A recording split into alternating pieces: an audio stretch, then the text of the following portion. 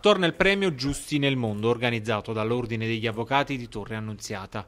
La seconda edizione è in programma sabato 16 settembre alle ore 19 allo Yacht Club Marina di Stabia nell'ambito del Galà dell'Avvocatura.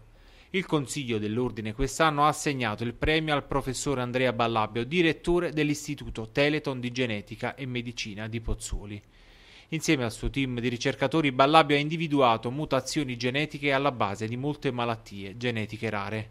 Al fine di sostenere le attività del professor Ballabio, l'ordine devolverà i fondi raccolti in occasione del premio all'Istituto TIGEM, polo di eccellenza della ricerca italiana nel quale lavorano circa 220 ricercatori, ha annunciato Gennaro Torrese, presidente dell'Ordine degli Avvocati di Torre Annunziata, che ha presentato l'iniziativa presso l'azienda Cantina del Vesuvio di Treccase. Quest'anno come l'anno scorso intanto lo scopo di questa manifestazione è quella di rinnovare l'impegno dell'avvocatura cultura nel sociale.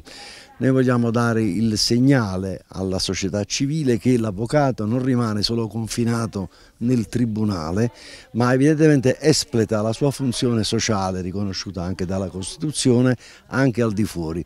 E quest'anno abbiamo voluto anziché premiare una personalità del nostro mondo giuridico uscire dall'ambito giudiziario e pensare anche a tutti quei grandi personaggi che fanno ricerca e ricerca importante per la nostra salute e abbiamo pensato di eh, premiare il professore Andrea Ballabbio. La nostra famiglia è sempre stata sensibile verso le iniziative di beneficenza, ha detto Maurizio Russo, proprietario di Cantina del Vesuvio.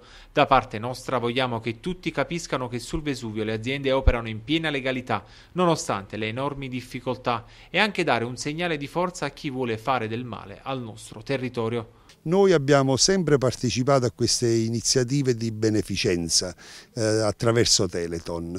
Ora eh, ancora più ehm, sensibile la cosa a seguito dell'incendio che c'è stato sul Vesuvio, eh, far capire, sposare questa iniziativa nel, per far capire la legalità che c'è qui sul Vesuvio. Rosario Perrecchi del gruppo musicale Soul Food animeranno la serata sempre all'insegna della solidarietà.